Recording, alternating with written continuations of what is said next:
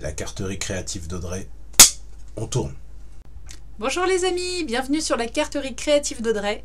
Je suis Audrey et aujourd'hui je suis encore ravie de vous faire une vidéo.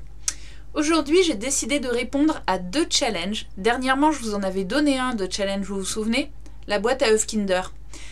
Euh, et aujourd'hui en fait c'est moi qui réponds au challenge que vous m'aviez proposé. On avait fait un live ensemble au mois de mars et vous m'aviez dit que vous vouliez pas mal de choses. Il y avait Cécile Fabre et Christelle Poussin notamment qui étaient présentes et qui m'avait dit qu'elle voulait euh, du turquoise et du violet, euh, du rose et du violet. Et euh, Christelle avait particulièrement demandé un effet miroir. Donc voilà, j'ai essayé de mettre tout ça ensemble et voilà ce que ça donne. On passe sur le bureau. Alors voici les deux cartes que j'ai réalisées avec cette petite plaque en fait euh, de silicone qu'on a chez Stampin' Up et qui m'a permis de faire l'effet miroir. Donc vous connaissez ce set de, tampons, c'est Petit Bonheur, d'accord? Avec euh, le renard, etc. etc. Et donc l'objectif en fait de l'effet miroir, c'est de pouvoir faire le même motif mais euh, de façon inversée, en effet miroir comme voilà. Donc là ici c'était un petit peu estompé. Voilà, l'effet miroir comme je tamponne d'abord sur la plaque et ensuite sur le papier, c'est un peu estompé. On peut coloriser. Euh, j'ai voulu vous montrer vraiment ce que ça donnait. Donc là je pense avoir rempli la consigne du rose et du violet mélangé. Avec les petits strass, ça a été euh, assez dur pour moi finalement. J'ai quand même beaucoup de mal avec le rose et le violet. Ceux qui me connaissent, vous le savez bien. Ici, je vous ai fait une carte. Alors là, c'est encore pire que tout. C'est turquoise et violet. Donc Cécile, là, crois-moi, le challenge est rempli. Euh, donc là, nous avons l'effet miroir avec le petit lapin. Et euh, Cécile avait également demandé euh, un coup de brosse à estompe. Et voilà. Donc là, pareil, il y a eu un peu de brosse à estompe, du violet, du turquoise et même un peu de rose, enfin, ou violet pâle. Voilà.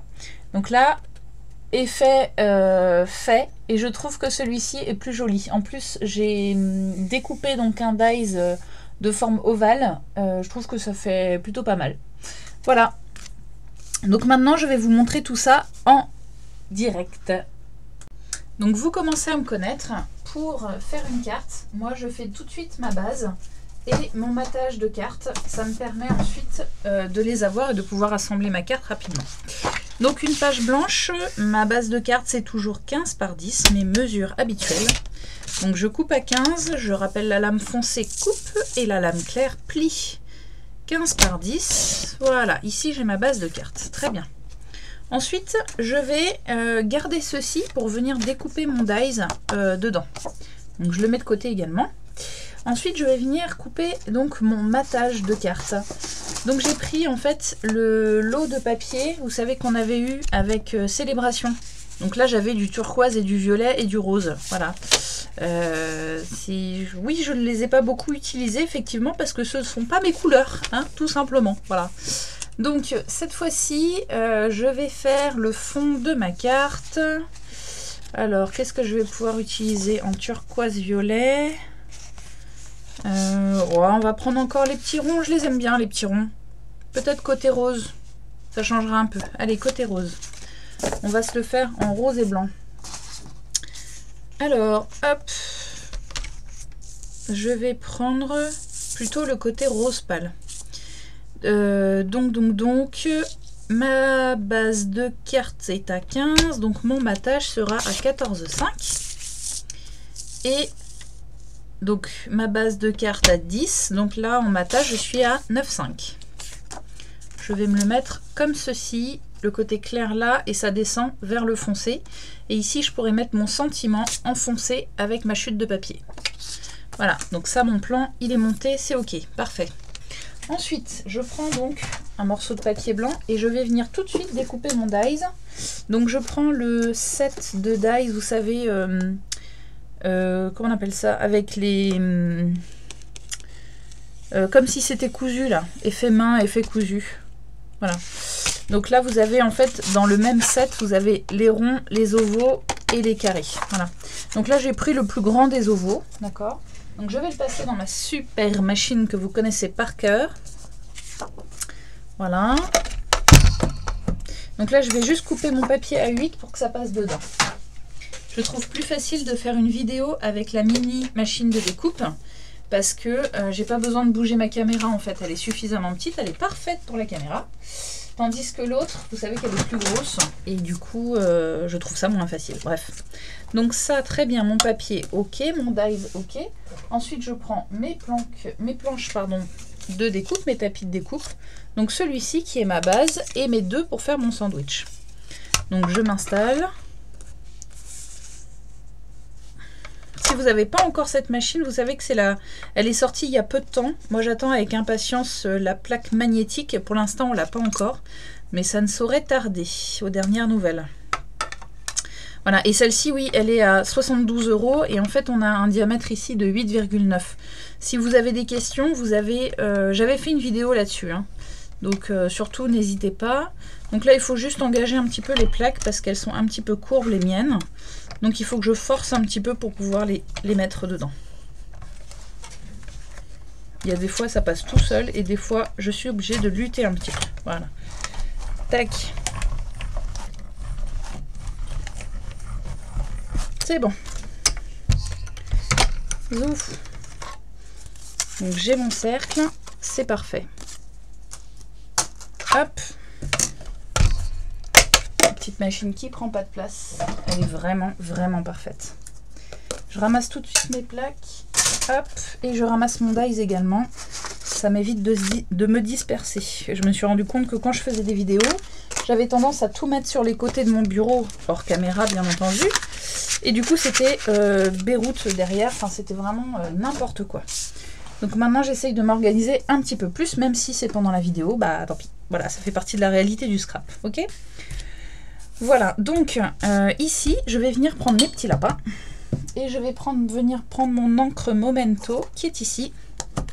Donc, je vais d'abord tamponner en haut mon lapin classique.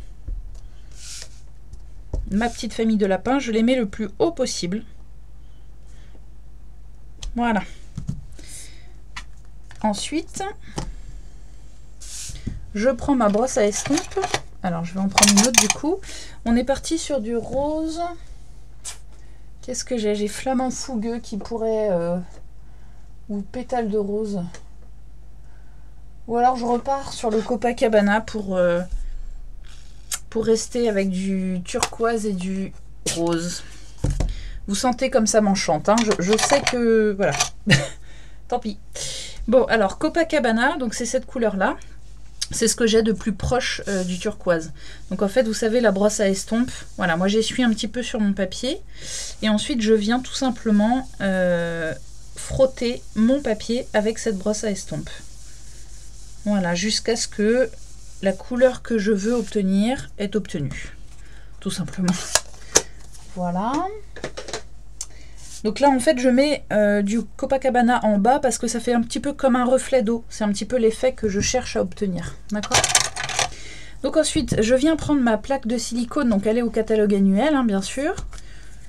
Voilà. Et en fait, je vais venir tamponner dans un coin de ma page, donc en momento. Toujours momento noir. Je prends le maximum d'encre. Je viens tamponner ici fort et rapidement, hop, je vais venir mettre sur ma feuille exactement où je veux que ce soit. Voilà. Et avec le dos de mon tampon, je vais juste venir appliquer mon encre sur le papier. Et voilà. Voilà, par contre, j'ai une fuite d'un précédent tamponnage qui est resté. Je pense qu'il faut que je nettoie ma plaque. Euh, voilà. Bon, c'était au moins pour vous montrer l'effet. Ça, je le referai après. Euh. Je nettoie tout de suite mon tampon. La plaque, là, vous nettoyez à l'eau et au savon. Hein. Voilà. Donc ça, c'est OK. Donc ça, voilà. Sur ma, ma, feuille, pardon, je vais venir le mettre à peu près par là. À la limite, ce que je vais faire, voilà, c'est que je mettrai ma fleur peut-être un peu plus dessus ici. Ensuite, je vais venir découper mon sentiment. Donc je prends une chute de page blanche. Je vais la découper à 1,2.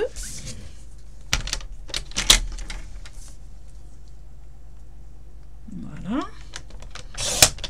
Et ensuite, mon papier, donc je vous avais dit que je conservais précieusement pour mon matage d'étiquette. Donc celui-ci, je le mets à 1,9. Voilà. On garde les chutes toujours, vous me connaissez. Ensuite, je prends ma super perforatrice. Prête. Je vais d'abord tamponner mon sentiment. Toujours en momento, on va rester simple. Donc j'ai pris le sentiment, euh, toujours le même, si menu, si petit, si aimé de tous. Voilà. Alors, je crois que c'est dans ce sens-là. Ok. Voilà l'intérêt des feuilles de brouillon, vous voyez. Hop, je vais essayer de me mettre plutôt bien. Il me semble que c'est en haut. Voilà, comme ça. Parfait. Tac. Je nettoie tout de suite mon tampon.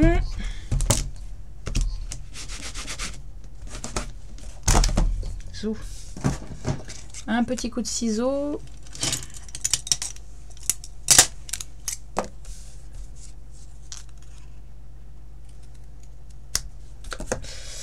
Petit coup de perfo.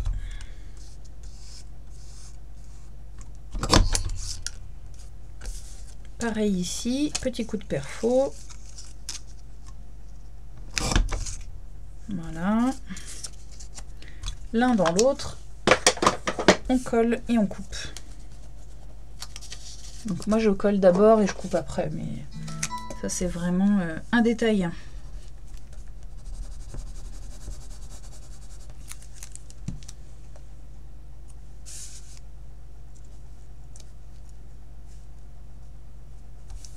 Voilà, en position. Tac. Donc là déjà, hop, je vois à peu près ce que ça donne. Voilà.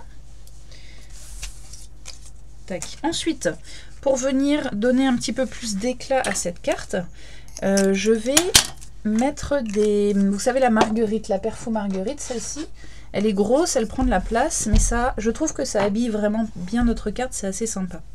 Donc, euh, soit je reprends la même couleur. Euh, on va faire ça. Là, le turquoise violet, j'ai un peu ma dose. Vous m'en voulez pas, hein?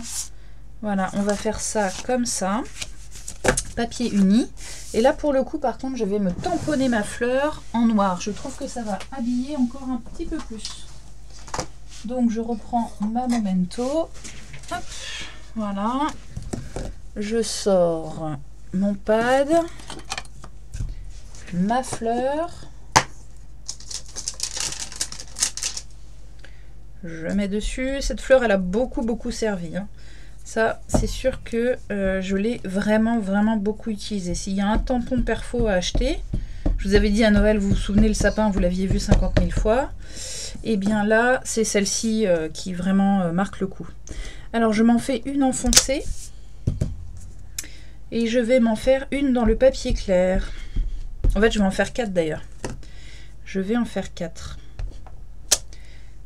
Hop. Parce que je les mets, vous savez, l'un sur l'autre. Voilà.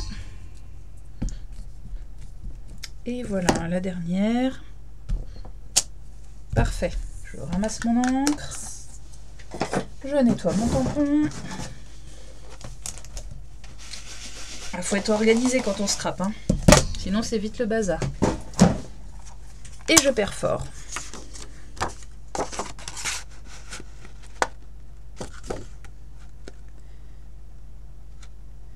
Voilà, je suis bien. Tac.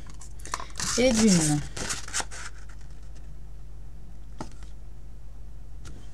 Deux.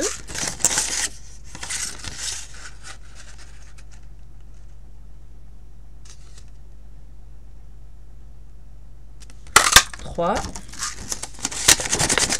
Ah, bon. Je suis bloqué, je me débloque. Voilà.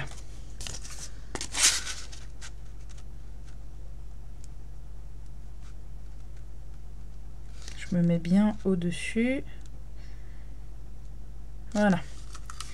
Et la dernière. Je veux aller trop vite. Voilà. Lâchez ma feuille, s'il vous plaît, perforatrice. Tac, voilà. Ok, perfo, c'est bon. Hop, voilà.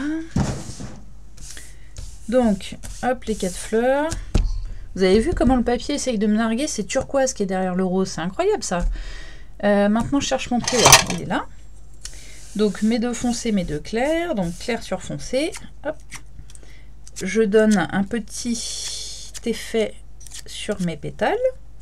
Voilà, du moins le pétale du dessous. Point de colle.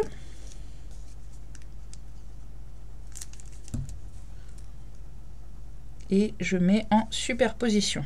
Bon, vous avez vu ça 50 000 fois, mais voilà, il y a toujours des petits nouveaux sur la, sur la page, que ce soit Facebook, YouTube.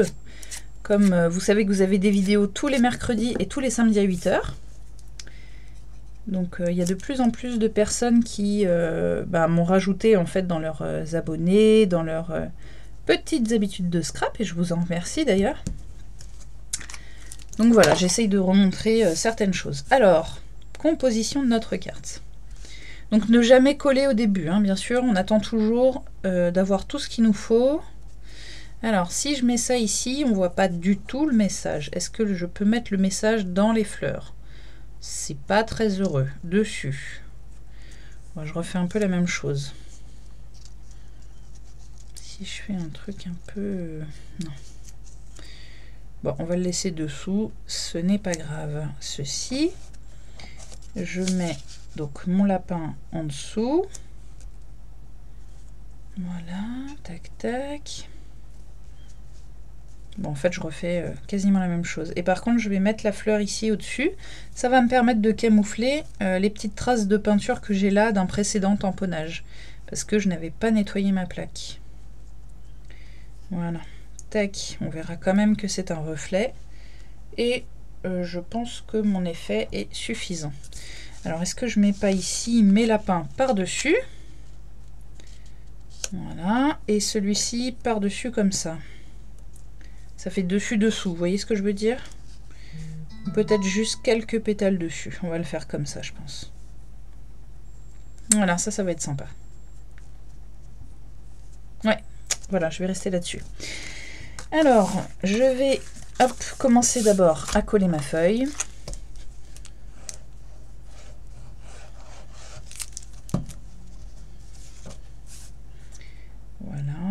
Donc on a dit le clair vers le haut. Ok, ensuite. Donc je mets ma colle dessus. Pensez aussi, hein, euh, si vous avez la possibilité de mettre des mousses 3D.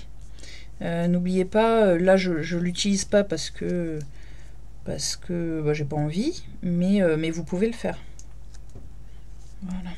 Ça, Hop, en fait je vais coller rapidement tous mes éléments et comme ça je peux encore les déplacer au besoin. Voilà, c'est pas mal. Donc celle-ci par contre elle n'est pas collée. Hop, voilà. Et donc je mets deux petits pétales par-dessus. On va laisser l'oreille libre. Et voilà. Et mon petit sentiment. Voilà. un peu plus vers le haut, comme ça. Voilà. Voilà, qu'est-ce que vous en pensez? C'est sympa comme carte. Je vous descends un petit peu. Voilà. Petit effet sympa, petit effet miroir. Donc Christelle Poussin, j'espère que j'ai répondu à ta demande. Voilà. On peut se rajouter encore quelques petits strass, mais, euh, mais en fait non. Voilà, je vais pas en mettre. Mais on pourrait on pourrait se mettre quelques strass, peut-être euh, sur les roses, enfin sur les fleurs, les marguerites, et une là. Mais euh, non, voilà, pour le coup, je vais m'arrêter là. Voilà. Et eh bien, écoutez, voilà l'effet miroir. Donc simplement la petite plaque en silicone euh, que j'utilise pour faire ça. Et eh ben j'espère que cette vidéo vous a plu. N'hésitez pas à me mettre d'autres challenges. Allez-y, euh, ça me plaît. Ça me donne en plus des idées. Ça me force à me, dépasser, on va dire. Donc je vous remonte les trois cartes que j'ai fait euh, avec vos challenges. Voilà. Il me reste encore euh, carte animée. Donc on avait fait euh, boîte de chocolat. Euh, Valérie, tu, Valérie Rinke de Link, tu voulais une boîte de chocolat pour Pâques, donc ça c'est fait, j'en ai même fait deux. Donc challenge, ok. Il me reste une carte anniversaire enfant et une carte animée. Voilà. Eh bien, je vous souhaite une bonne journée et je vous dis à très vite pour une prochaine vidéo. À bientôt sur la carterie créative d'Audrey.